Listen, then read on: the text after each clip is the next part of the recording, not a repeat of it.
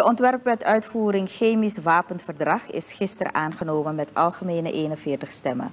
Er waren geen stemmen tegen. De voorzitter van de commissie van rapporteurs, Xuan Rui Wang van de VHP, zegt dat de aanname van de wet van groot belang is voor Suriname en zeker zijn nut zal bewijzen in de toekomst. Het doel van deze wet is het voorkomen van de verspreiding van chemische wapens en de regulering van de chemische stoffen die voor meerdere doeleinden gebruikt kunnen worden.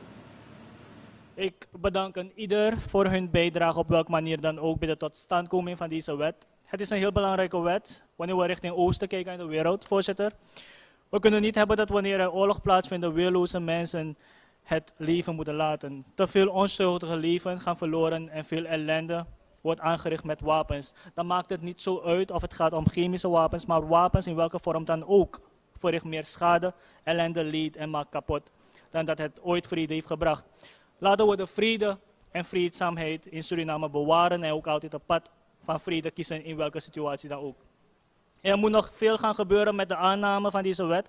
En we kijken natuurlijk toe vanuit, het, vanuit dit hoogorgaan hoe dat allemaal zal geschieden. BEP-parlementariër Ronnie Asabina zegt dat Suriname geen schoonheidsprijs verdient als het aankomt op de handhaving van de wet. Hij heeft de regering kort voor de stemming verzocht om de vinger aan de pols te houden met betrekking tot dit vraagstuk.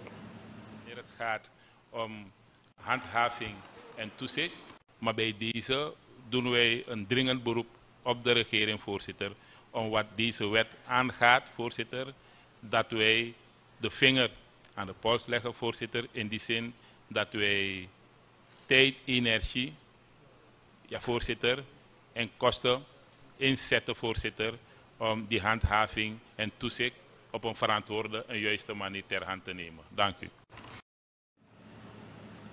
Commissie van rapporteurs voorzitter Wang zegt verder dat het de taak van de regering is om de verdere ontwikkeling met betrekking tot de wetgeving te trekken en het parlement verder te informeren. Wang merkt op dat het echte werk nu pas gaat beginnen. Ook is deze wet gericht op een volledig en doeltreffend verbod op de ontwikkeling, de productie, de werving, de opslag, het in bezit houden, de overdracht en het gebruik van chemische wapens, als ook de vernietiging van deze wapens.